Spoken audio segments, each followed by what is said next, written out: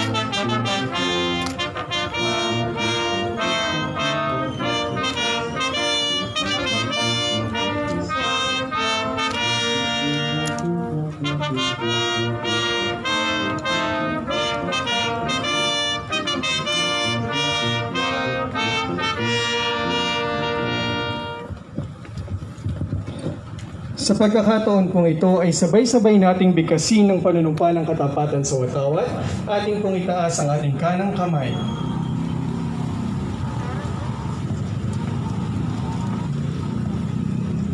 Panunumpa ng katapatan sa watawat.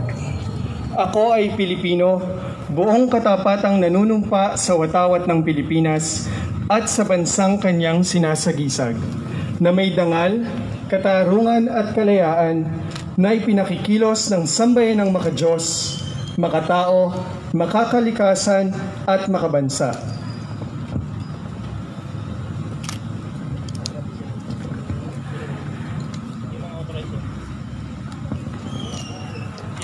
Atin pong isusunod ang simbolikong pag-aalay ng bulaklak sa bantayog ni General Emilio Aguinaldo.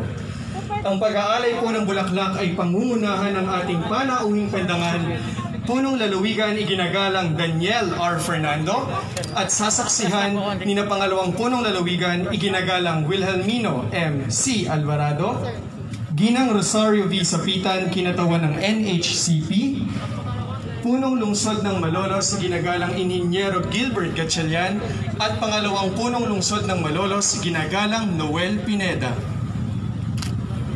Gayun din po ay sasaksihan ni Reverendo Padre Dars Cabral, Cura Paroko ng Nuestra Senora del Carmen.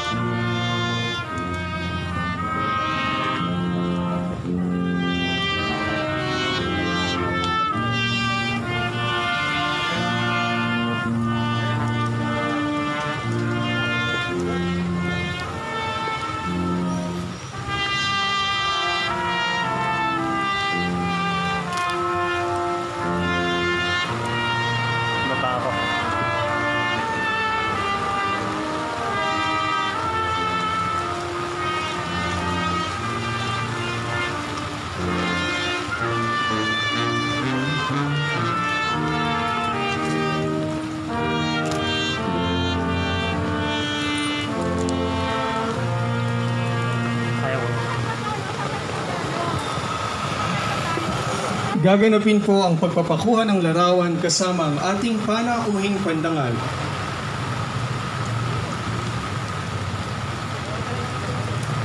Tayo, mauna tayo sa pwesto.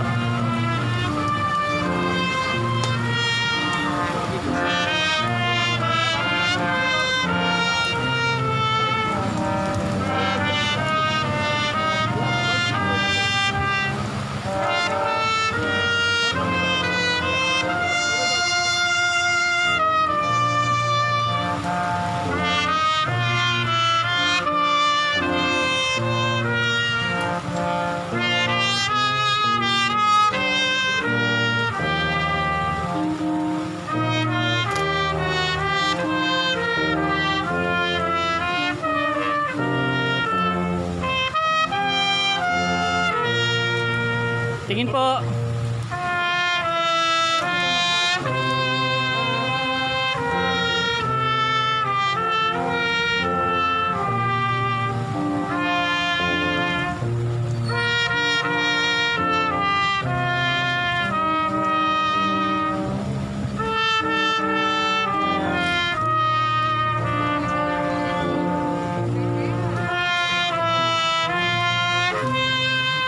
Po.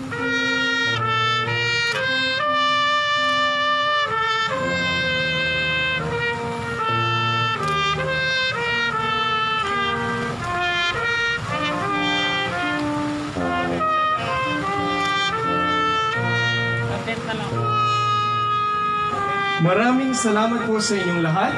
Bagamat payak po ang ating palatuntunan sa taong ito, ay naging makabuluhan pa rin po ang pagdiriwang ng ikaisandaan dalawamput dalawang taong anibersaryo ng Proklamasyon ng Kalayaan ng Pilipinas dahil sa inyong mahalagang pagdalo.